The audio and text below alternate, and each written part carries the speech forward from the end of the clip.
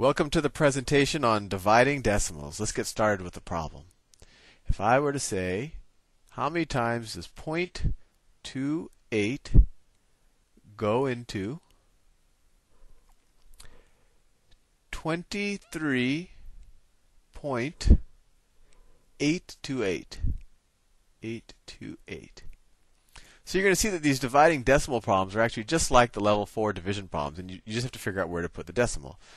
So what you do is you always want to take this decimal and move it over as many spaces as necessary to turn this number into a whole number.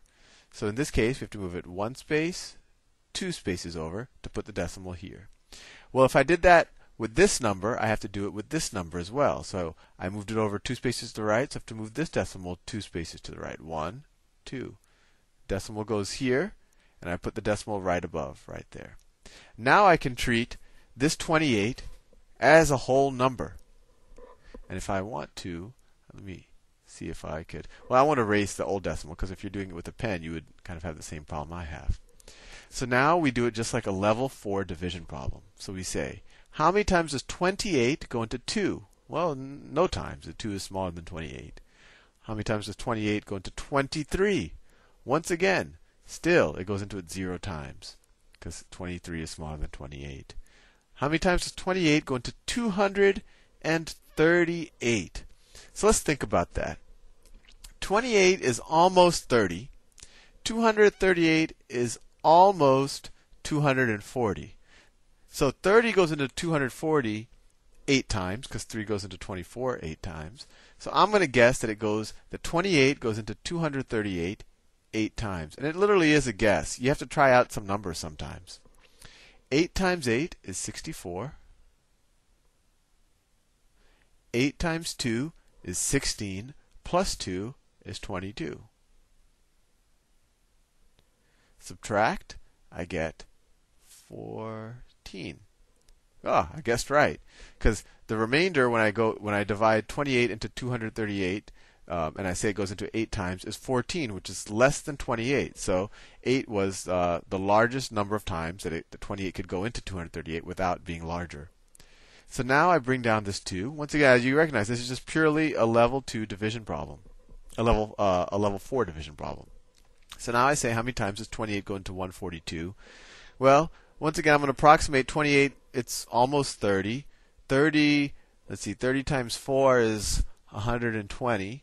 So yeah, I'll I'll take a guess and I'll say let's say it goes into it four times. I could be wrong, but let's see if it works out.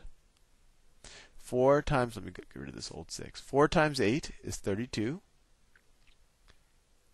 And four times two is eight plus three is eleven. Two minus two is zero. Four minus one is three. Huh, interesting. So it turns out that my remainder here is larger than 28. So I actually could have divided 28 into 142 one more time. So let me go back and change that. See, it's it's it's it's not a mechanical thing, and and if you feel unsure sometimes, you just have to try numbers and see if they work, and otherwise you raise or, or lower the number accordingly. So let me erase that four.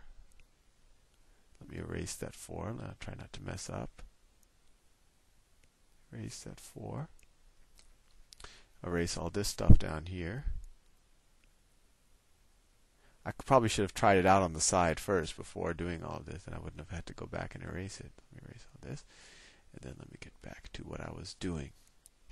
So when I went into it four times, the remainder was too large, so let me try 5 now.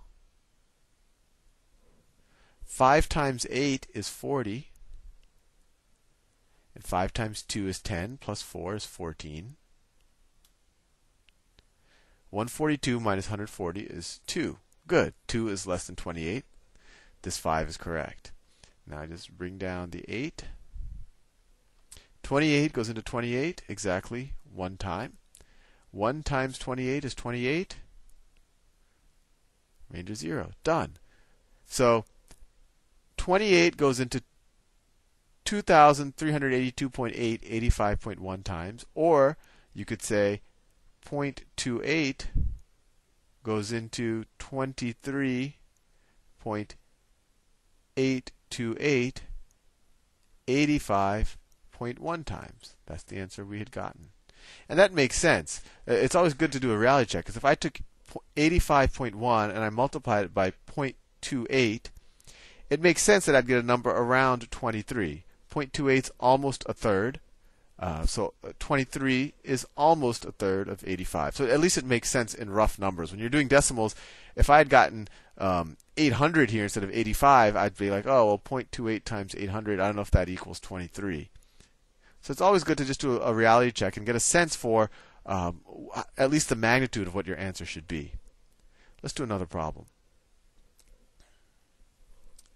Let's do 3.3 goes into 43.23. That's a 3. So first thing we want to do is move the decimal. We just have to move it one space here. So we move it one space here as well. Put the decimal right up here. And now it's just a level 4 division problem.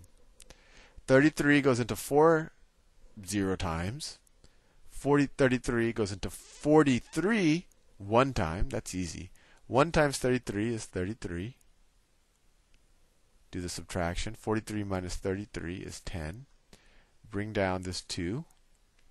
33 goes into 102. Uh, you can eyeball that one and say, oh, 3 times, because you know 3 times 33 is 99. 3 times 33 is 99. 102 minus 99, well, that's easy. That's 3. We just bring down this 3. 33 goes into 33 one time. 1 times 33 is 33. 33, 0. So 3.3 goes into 43.23 13.1 times. Or if you move the decimal over, and when you move the decimal over to the right, one spot, all you're doing is you're multiplying both the divisor and the dividend by uh, 10, and which is fine as long as you multiply both of them by 10. So when you, it's also like saying 33 goes into 432.3 13.1 times. Let's do one more problem. I think I have time. YouTube puts a limit on this stuff. So let's say I say 2.5 goes into 0.3350. How many times? Well, once again, let's move the decimal point over 1 here. So we move the decimal point over 1 here, put the decimal here. So how many times does 25 go into 3? Well, 0.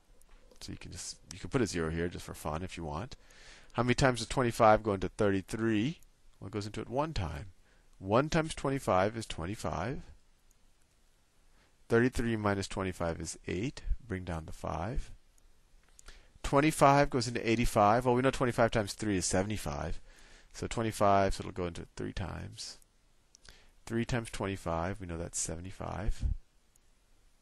85 minus 75 is 10. Bring down this 0. Up here we had brought down the 5 before. And 25 goes into 100 four times. So our answer is 2.5 goes into 0.3350 0.134 times. So as you see, the only different step between what we're doing in when we're dividing decimals and between and when we're doing level 4 division is we just have to make sure we get the decimal in the right place. And that just you shift the decimal here enough so that this becomes a whole number and you have to just have to shift the decimal here the same number of times. And once you do that, it just becomes a level 4 division problem. And the whole trick with level 4 division is always be willing to try numbers, and if the numbers don't work, um, adjust them accordingly. Don't feel that there should be a way that you can just always power through these problems. You have to do a little bit of trial and error and maybe use your eraser or do some work on the side every now and then. But anyway, I think you're ready to do some uh, dividing decimals problems.